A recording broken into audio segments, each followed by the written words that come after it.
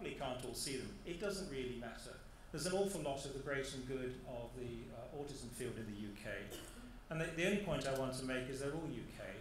Because although obviously um, knowledge of autism, knowledge and research in autism is global, when it comes to putting things into practice, we want to put into practice things using the instruments and structures that are present in the UK. So clearly it's the local knowledge there is important when it comes to our recommendations. So I'm not going to go through this list. Many of the names are probably quite well known to you. And the list is fluid. It can be added to if necessary, if we experience gaps in our, that even these people can't, um, can't address.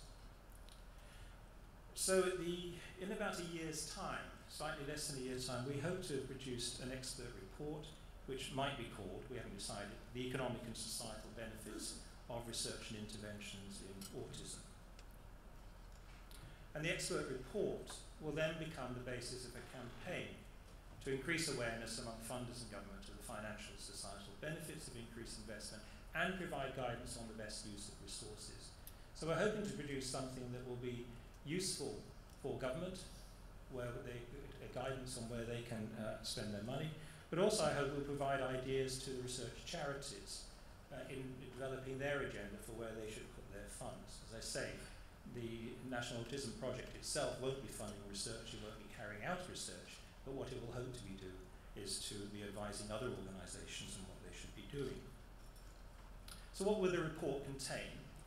Um, the main report will say what NAP is, why NAP is needed, it will expand on the things that I've explained so far, how the project was conducted, which I'll come to more in a moment. It will contain case studies, and I'll explain more again what those are, and our recommendations for interventions for increased investment or for changed investment, and perhaps also on pathways to implementation. And there I think we will need the expertise of people working out there in the community to explain. It's all very well making a recommendation, but perhaps you might need to tell someone how it might be put into practice. And the appendix will have the data analyses which have been carried out by the London School of Economics and then endorsements, which I'll come to. So something like this is the idea of the report, and maybe the full the main report itself will be no longer than 30 pages, knowing the attention span of politicians limited. How is the work being carried out? It's basically, because we're not a research organisation, it's basically a literature review of effectiveness and cost effectiveness of interventions. Before anyone asks me what effectiveness means, I'll come to that in a moment. Um, the information is being organised into tables summarising key information, the type of intervention, the country in which the data, from which the data were obtained, who the intervention is aimed at, what is the setting, is it, is it in the home, is it in school, education, or whatever evidence of effectiveness and cost effectiveness, and the short and long term impacts. The timescale of these things is also important. Martin Knapp is very adept at mining data sets from other studies that impinge on, um, on these questions, even though those studies weren't necessarily set up in the first place to, uh, to, to answer those particular questions. So he's looking at other data sets involving behavior of children, anything where perhaps uh, a majority of those involved actually would have had a diagnosis of autism. And this can be used to bolster, if you like, the conclusions from the uh, literature reviews. We're also looking at ethical issues as well. This is such, can early intervention be too early? Um, what measures of quality of life should be used? It's very controversial. How do you trade short-term impact against long-term benefit? This would be a problem if, we, if the choice came to do we fund uh, research into understanding what autism is in the hope that in the long term this might have some profound effect on the quality of life of people, or do we put into money money into something that would affect quality of life now? And it's very difficult to make that trade-off. And we certainly don't want to end up rubbishing uh, bio biomedical research in the area just because it doesn't have a quick pay, uh, a quick return. What about accessibility and fairness?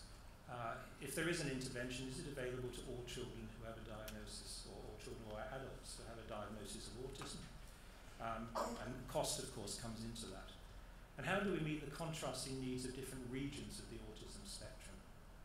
Very difficult question also. The dialogue with the experts is crucial in answering some of these questions because they are aware of current research which may not even be published yet they're aware they, they, they can advise on the relevance and significance of findings from the reviews and the relevance of emerging interventions, perhaps, of which the database is thin at the moment, and also the identification of parameters to use in the evaluation of the effectiveness of interventions.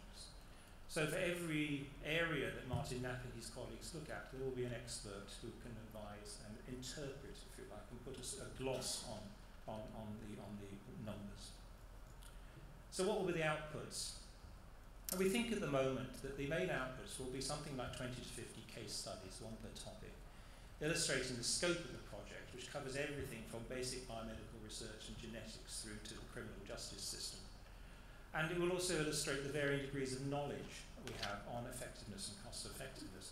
So out of this will come our recommendations. Um, there will be those for which we have robust evidence of positive societal and economic outcomes. So that is, we don't need any more research the figures already speak for themselves. And these would be recommendations at government level for further investment. There perhaps won't be too many of those in which the evidence base is that strong. We don't know yet. We're, we're still going through the exercise. There will be many for which the evidence base is fragmentary, but expert opinion proposes that further research is merited to determine the benefits of autistic people on the one hand and or the economic case for so doing. So where there are research gaps, we would hope to take these recommendations to the research funders so this could be the research councils, it could be the uh, research charities, depending on what particular area, what particular level we, we, we see these questions being posed. And we would ask them whether they would consider commissioning research in these areas. And then there will be those for which the evidence base is non-existent or in fact negative, i.e. this really does not work. And then we would make recommendations to stop wasting money on any further interventions. And in this, I'm sure we would be supporting uh, the recommendations of NICE guidance on, on um, interventions in autism? Well, it's definitely a work in progress at the moment. So these are very tentative. These are interventions that Martin Knapp has defined as in. Now, in doesn't mean that he's shown that there is an economic case for continuing or intensifying the level of the intervention. What in means is that he has a bit of evidence both on effectiveness and also on cost effectiveness. So here we have intensive early interventions, things like the, uh, the Early Start Denver model, uh, ABA, for, uh, applied behavioral analysis, for example, um, positive behavioral support in schools or in adults for challenging behaviors, cognitive behavioral therapy for anxiety, uh, certain types of vocational and employment interventions. So for each of these intervention areas, there's already evidence on both effectiveness and cost. So I think here is where I have to say a word about what effectiveness is. In these contexts, effectiveness is a positive result in the thing that's being examined.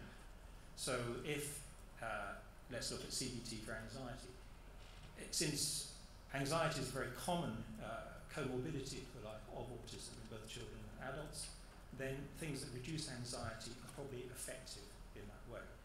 Uh, some people would disagree, saying that anxiety is part of their core autism and they don't want that messed around with very much. But um, thank you very much. But this is not compulsory.